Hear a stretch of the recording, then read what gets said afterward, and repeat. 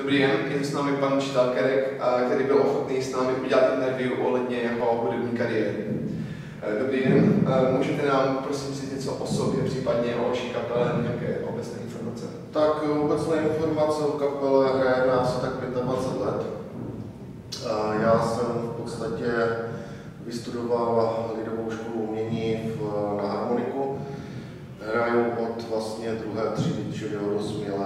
takže mám nějakých taky už tak 30 let eh, za sebou. Hraju na první nástroj.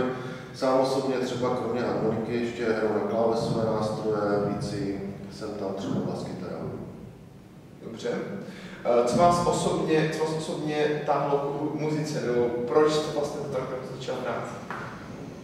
No, eh, když jsem začal hrát, tak to bylo v té druhé třídě a to bylo na popud toho, že jsem viděl kamaráda, který hraje na harmoniku a tak jsem přesvědčil rodiče, že chci taky hrát. Takže tím to začalo, no a postupně vlastně vztah k té hudbě. A um, co se kapely týče, tak uh, hraju tam proto, protože sice ze začátku punková kapela, ale v podstatě vyvinuli jsme se v jakýsi multižánr, a ten punk je o tom, že si tam člověk eh, může de facto dovolit, co chce a mě baví mě experimentovat. Chápu, chápu. E, za jakým okolností jste se s kamarádem vůbec rozhodli založit kapelu? Já jsem byl do kapely přizván, oni už v té době existovali nějak a v podstatě e, o mě zjistili teda, e, co jsem bydlel se známým ještě na studiích na kolejích, tak vlastně se dozvěděl, že hraju na klávesové nástroje a tak jsme se domluvili, že to spolu zkusíme. No a po první zkoušce jsem v té zůstal. Hrajete před publikem, popište tuto zkušenost. Mm, tak jak doma v pokojíčku. no. Takže žádná nervozita. Absolutně žádná, ne. Tam jde totiž o to, že vlastně mm, my nemáme, nebo tak jakože pro nás není důležité, aby ta hudba byla precizně prostě eh, zahraná, tím, že právě je to takový ten punk, tak eh, si můžeme dovolit chyby a v podstatě celá ta naše hra nebo to vystoupení je spíš taková, taková show, takové divadlo, takže tím pádem prostě tady tyto věci se úplně ztratí a když právě jdeme na tom pódium, tak je to takové spíš úplně opačně, že vlastně se jdeme odreagovat a prostě eh, se pobavit s těma lidmi. To je hodně dobře. S jakými problémy jste se vy nebo vaše kapela setkali za vaše vašich 30 20 let? No, problémy s tím, že v podstatě jsme si nebyli schopni udělat pauzu. Takže ta přišla teďka po nějakých těch 25 letech. Takže teďka v podstatě jsme si řekli, že si chvilku odpočínáme do léta a pak budeme zase pokračovat.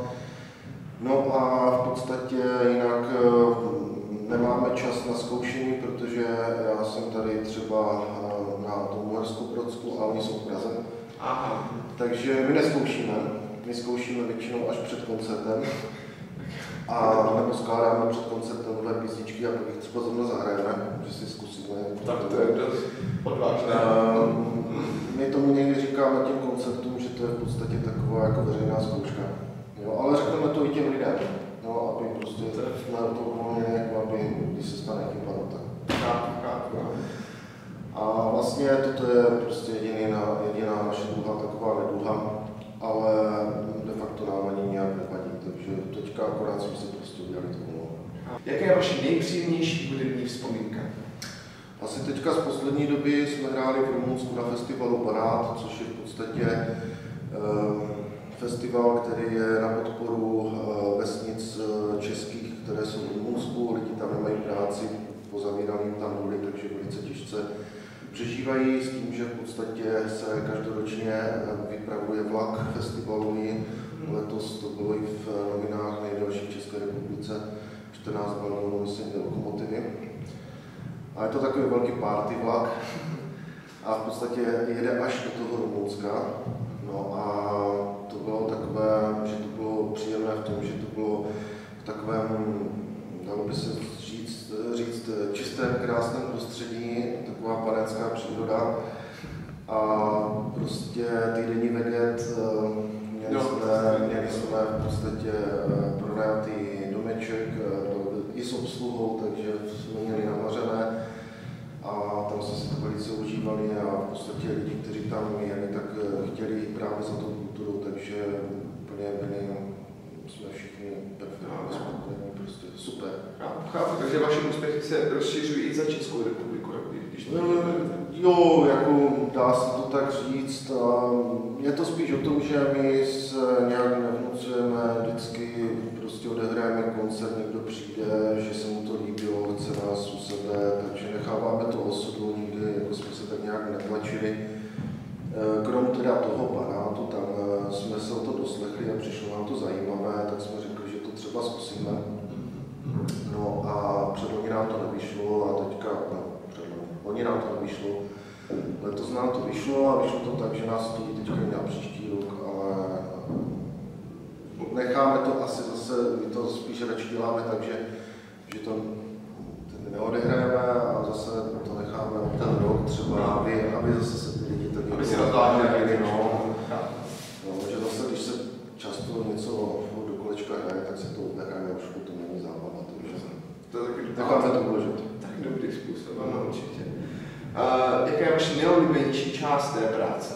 Jaká je vaše nej, a nej, nejoblíbenější a nejméně oblíbená? Mm, Neoblíbená, nevím, asi žádná. To je dobře.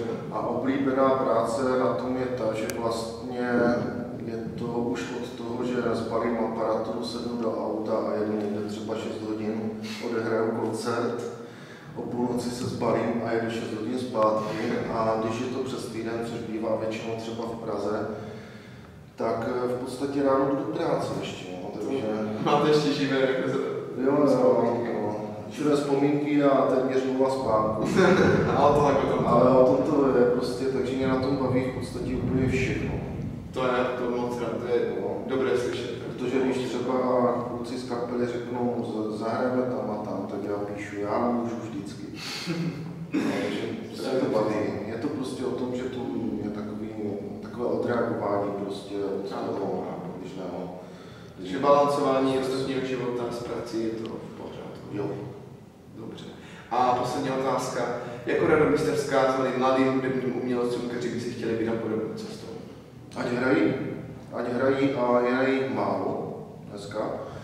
Strašně málo muzikantů, máme třeba i problém, když já mám třeba chuť založit ještě jednu kapelu. A prostě nemám muzikanty. Jo, je jich strašně málo a co mám tak jako muzikanty na volné noze, něk, některé, tak v podstatě už jsou v mém věku, jo, skoro 40 takže prostě tam ta umadina chybí. Jo, je to málo a, a chtělo by to víc muzikantů, víc prostě všeobecně. Ten mladé krve trošku, aby se to... Jo, jo, jo. A je vidíme, proč to není, protože je to úplně prostě parádní věc, jo. Děláte si, tvoříte si to, co chcete v partě lidí a v podstatě jezdíte jo, a poznáváte. Chápu, chápu. Tak jo, děkujeme za uh, perfektní interview. Rozhodně jste, jste nám hrozně pomohl i našemu projektu Erasmus, takže děkujeme. Ať se vám daří tak